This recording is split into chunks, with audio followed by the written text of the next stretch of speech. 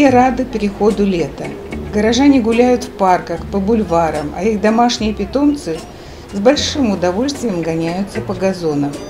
Народ переселяется на дачи, выезжает на рыбалку, пикники, идет в походы, устраивает игры в лесу. А там, в траве и на кустиках, вдоль тропинок и водоемов, в лесной подстилке давно поджидают свой шанс выжить маленькие вампиры. Обычно человек сознательно и добровольно делится своей здоровой кровью, как донор. Сдает он ее на анализы или медицинской пиявочке, когда болен. Это все во благо, это лечит. Иксодовый клещ, этот маленький кровопийца, наоборот, может погубить или сделать инвалидом. Почему? Многие знают, что клещи служат переносчиками целого ряда болезней человека – возбудителями которых являются вирусы, бактерии и простейшие.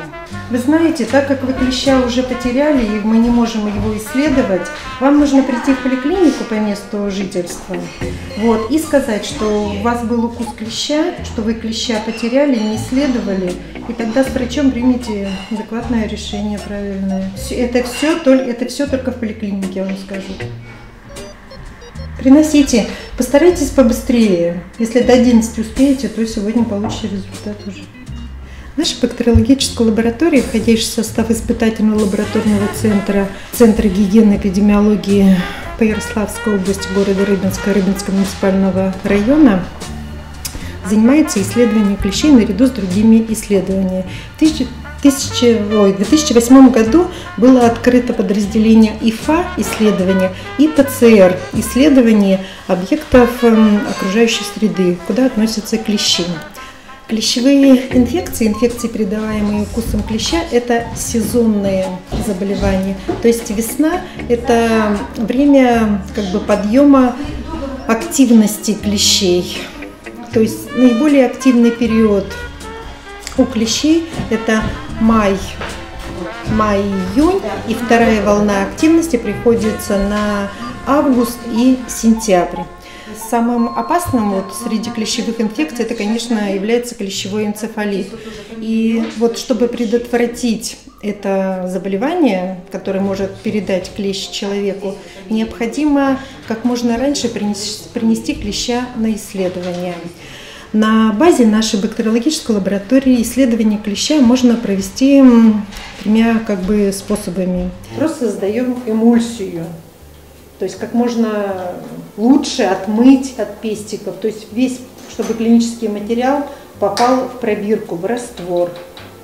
После выхода результатов исследования клещей наша лаборатория обзванивает клиентов с положительным результатом, выписываются протоколы данного исследования, и люди приходят и получают эти протоколы. В зависимости от того, какие инфекции выявлены в поликлиниках по месту жительства, либо в тех лечебных учреждениях, которые прописаны в страховках, им назначают профилактическое лечение, потому что ну, как бы в нашей лаборатории мы получаем результат только исследования клеща, то есть какие возбудители были в клеще.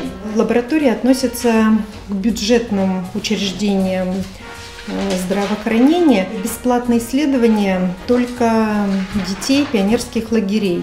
Все остальные исследования у нас платные.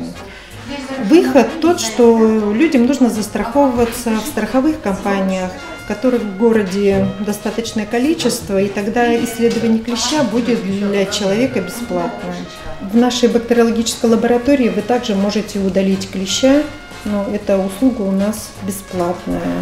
Ну, клещевой энцефалит можно, конечно, заразиться еще и элементарным путем.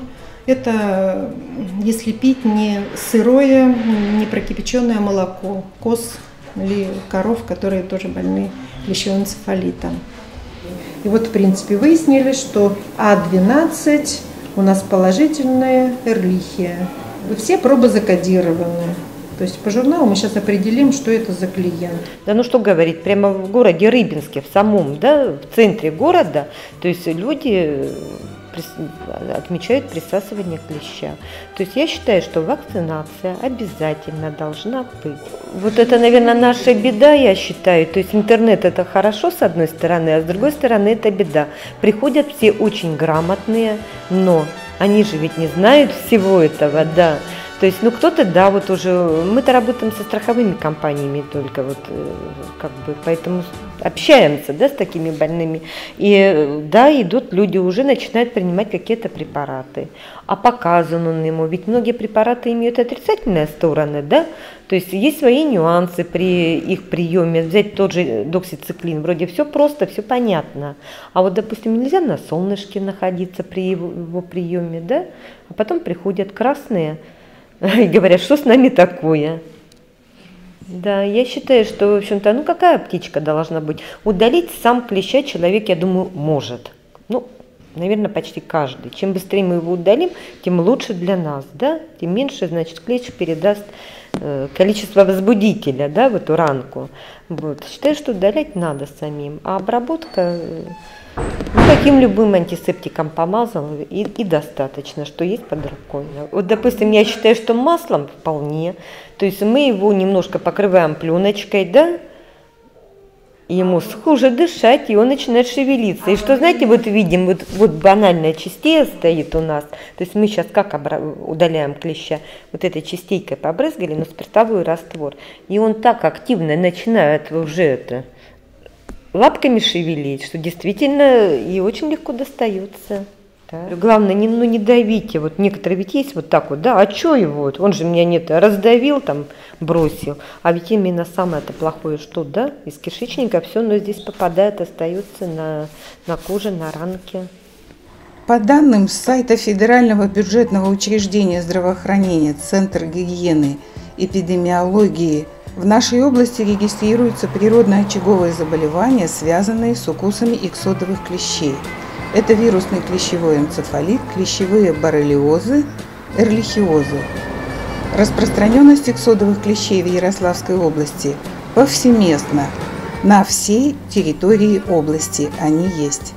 Клещи живут в травяной подстилке не только лесных зон, но и на кладбищах, скверах и парковых зонах населенных пунктов – и периодически, чаще в весенний и летний период питаются на животных. В природе это грызуны, ежи, зайцы, лоси и другие млекопитающие.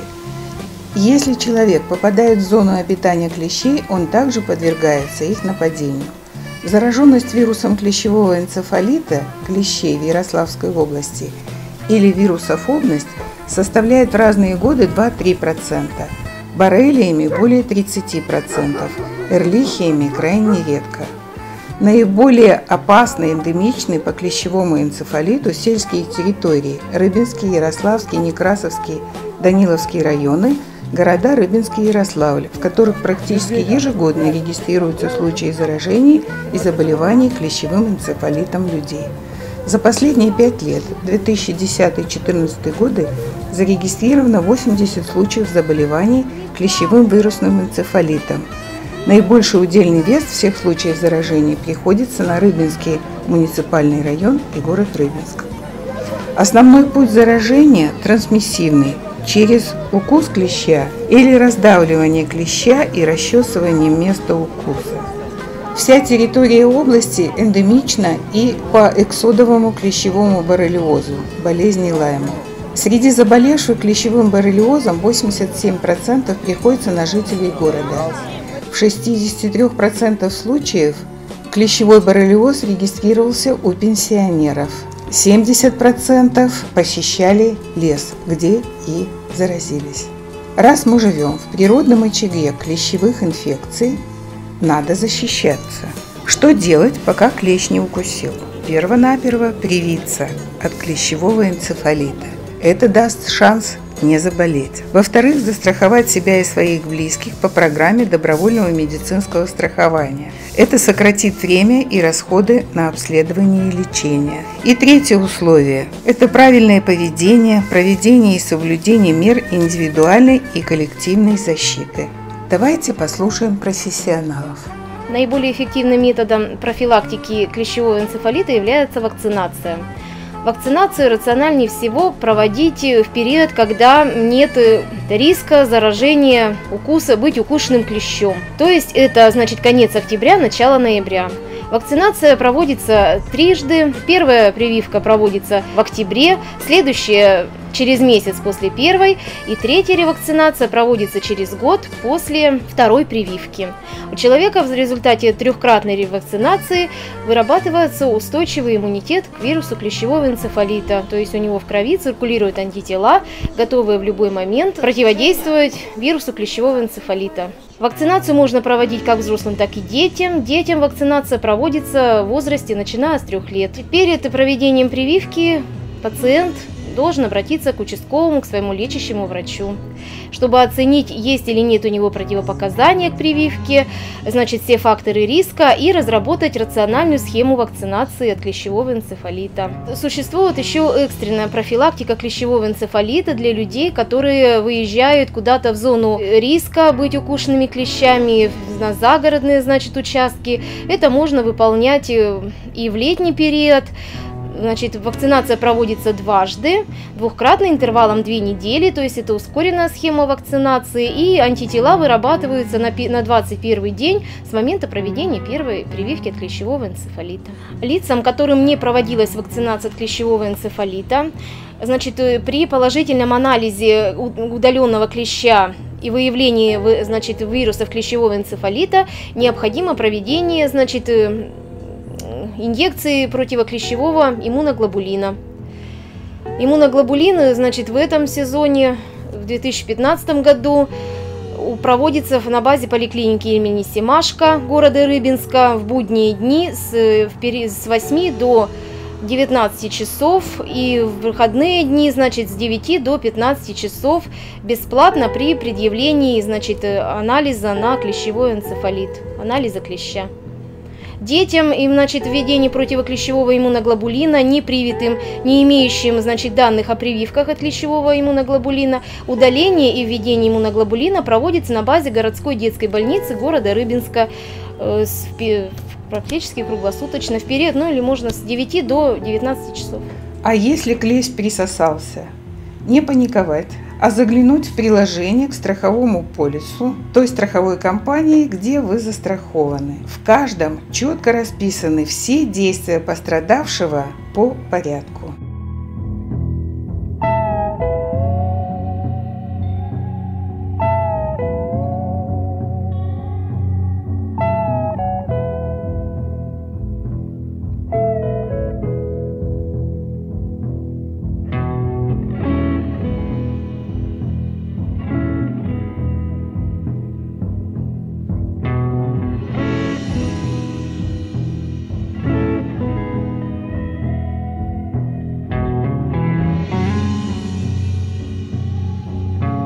Как подготовить домашних питомцев, а значит и себя к атаке клещей? Этот вопрос я задаю главному ветеринарному врачу частной клиники «Корвет» Ольге Анатольевне Кулаковой.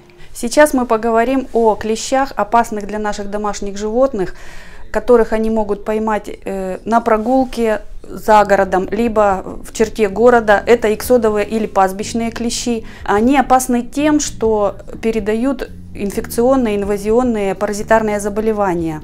Например, такое очень опасное для них заболевание, как пироплазмоз либо безиоз. Этот паразит передается с укусом и э, внедряется э, в тело животного попадает в кровоток, внедряется в красные кровяные тельца животного крови и разрушает их. Животные очень сильно от этого страдают, и если не принять специальных лечебных мер, то могут и погибнуть. Пироплазмоз более опасен для собак, чем для кошек. Кошки практически не болеют этим заболеванием, собаки переносят очень тяжело. Защитить животных от нападения клещей можно несколькими способами. Для этого существуют специальные э, обработки животных от клещей. Это либо капли на холку, которые капаются на кожу животного и действуют в течение четырех недель. Это ошейники, которые одеваются на животное и действуют в течение всего клещевого периода от 4 до 7 месяцев. Но важно ошейник не снимать, а носить его постоянно, иначе не будет э, нужного действия. И спреи защищают животных от нападений.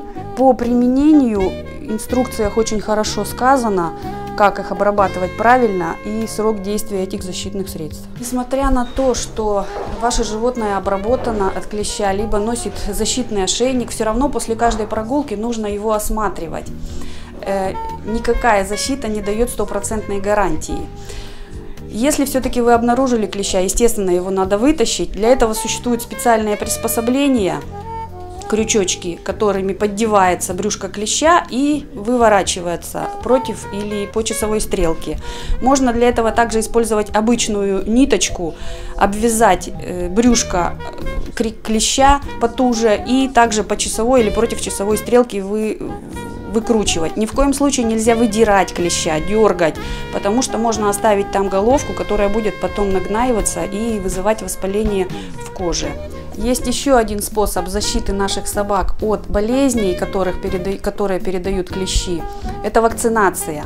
Вакцинация проводится в феврале-марте э, двухкратно, чтобы до периода активизации клещей у животного выработался иммунитет. И иммунитет вырабатывается на полгода, то есть на весь период, когда э, клещи активны.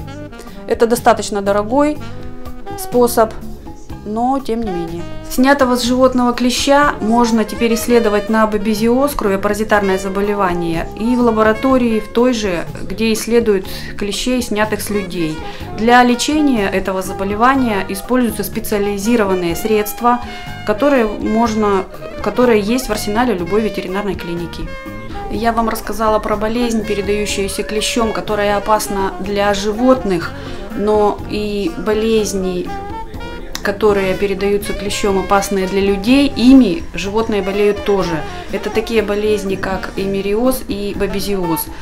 Тоже может быть повышение температуры, э, как при эмириозе, сразу же или очень быстро, либо хроническое течение, как при боррелиозе, это болезненность суставов, которая может проявиться и через несколько месяцев. К сожалению, профилактика – это только обработка животных, а так, если обнаружен клещ заразный, носящий это заболевание, то животное желательно пролечить.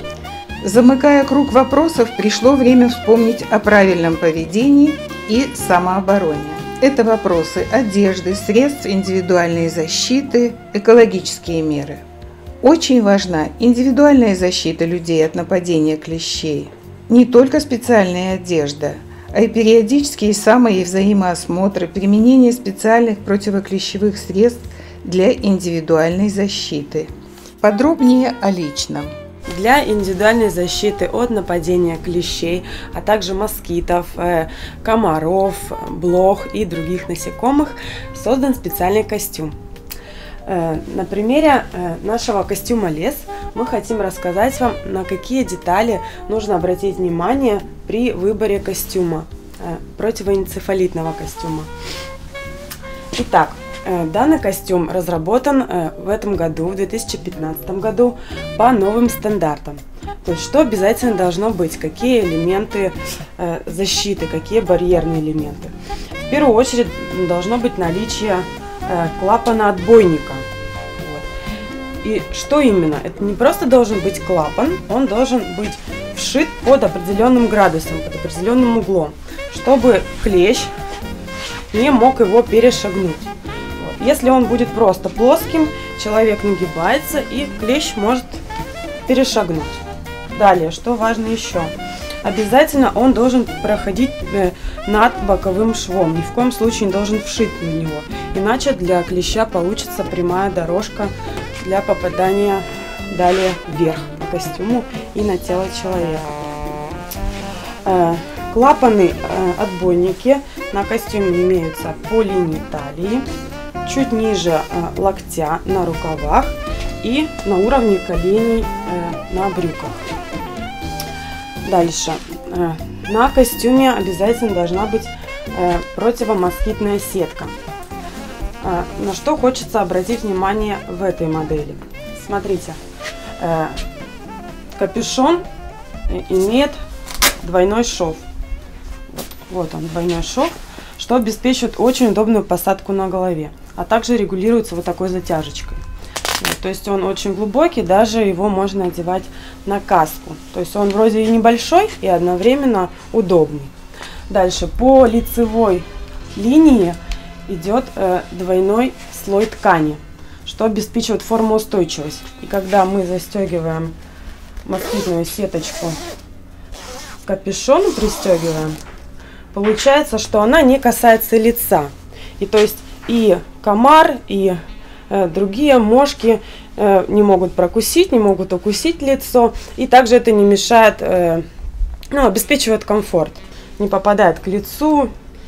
Э, далее. Если не используется москитная сетка, ее нужно убрать, можно убрать специальный кармашек который застегивается на пуговицу. Еще такой элемент. Есть костюмы в продаже, но данный карман застегивается на липу. Это неправильно, обращайте на это внимание. Обязательно должна быть пуговица. Если это будет липа, то москитная сетка к ней прилипает, и она быстро придет в негодность, она порвется.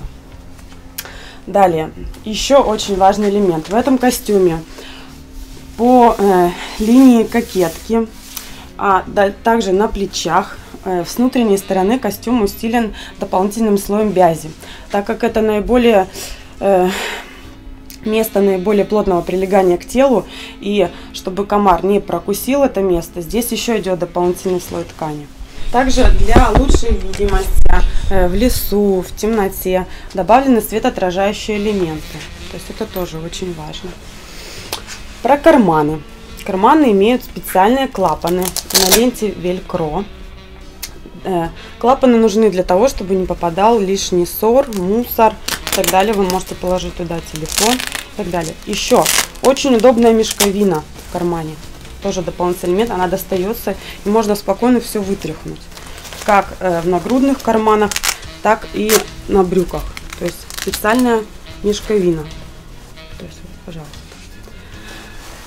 Дальше. Обязательно должны быть напульсники. Не просто напульсники, а напульсники, плотно прилегающие к телу. Трикотажные. В, данной, в данном костюме используется трикотаж с лайкрой. То есть они не вытягиваются, плотно сидят по руке.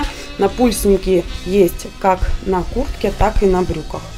Кулиска, регулируемая кулиска. Она затягивается плотно. При необходимости можно э, заправить куртку в брюки, кому так удобнее. Э, про состав ткани. Состав ткани стопроцентный хлопок э, высокой плотности, что обеспечивает, во-первых, э, гигроскопичность и воздухопроницаемость. То есть вам будет комфортно в жаркое время года на природе в нем находиться. Конструкция костюма такова, что она обеспечивает надежный защитный барьер от попадания клеща, а также от других насекомых, опасных вредителей на тело человека. Но э, это является только механическая защита благодаря специальной конструкции костюма. В сочетании с репеллентами, специальными средствами от клещей, это будет, далее будет обеспечена э, более эффективная максимальная защита. Опять, еще хотелось э, один момент, упустили. Бытует такое мнение, что Костюмы э, противоэнцефалитные уже должны быть иметь э, специальные пропитки. Это заблуждение, э, так как пропитки имеют свойство улетучиваться. После стирки они теряют свои свойства. Костюм в первую очередь должен иметь специальную конструкцию, а уже средства наносятся по инструкции, строго по инструкции, в специальных условиях и заранее перед тем, как вы собираетесь идти на природу, в лес и так далее. Для обеспечения максимальной защиты от нападения клеща и других насекомых у нас в продаже имеются специальные средства. Э, например, такой как э, репеллент Штока антиинсект. Э, какие его большие плюсы? Во-первых, его можно наносить на кожу. То есть снимается колпачок, распыляется на ладонь и такими обычными втирающими движениями наносится на кожу рук, э, на внизу, ну, по телу. Можно использовать как детям, так и взрослым. При нанесении на кожу защитные свойства держатся э, в течение 4-5 часов. При нанесении на одежду от э, комаров э, до 30 суток на одежде, э, от клещей также до 5 часов. То есть достаточно длительное имеет э, действие препарат и ну, получается выгоден в своем применении. Э, на э, флаконе имеется обязательно инструкция на русском языке, где все подробно написано, указан срок годности, состав и как использовать, при каких условиях. Новинка это уже более мощный препарат, усиленный препарат. Э, э, он даже, можно сказать, классифицируется как в первую очередь от клеща. Его нужно наносить в специальных условиях строго с инструкцией, не отклонять от инструкции. То есть э, не на ветру, чтобы не было ветра в помещении, либо на улице, ну, если нет ветра. Обязательно дать одежде просохнуть, после этого немножко выветриться. Препарат э, держится на одежде, э, не теряя свои свойства, до 15 суток. Дальше одежду нужно будет постирать и заново нанести препарат. Также для полной комплектации костюма мы рекомендуем э, вот такие сапоги ПВХ. Они достаточно высокие и имеется манжета, которая регулируется кулиской. Ее можно затянуть по ноге, заправить брюки, что тоже препятствует попаданию клеща э, внутрь э, обуви. Итак, мы напомнили вам, что, где, когда, как и для чего надо делать в сезон атаки клещей. Надеемся на ваш здравый смысл и осмотрительность. И желаем вам здравия, активно, весело и продуктивно провести лето. Ждем откликов и пожеланий.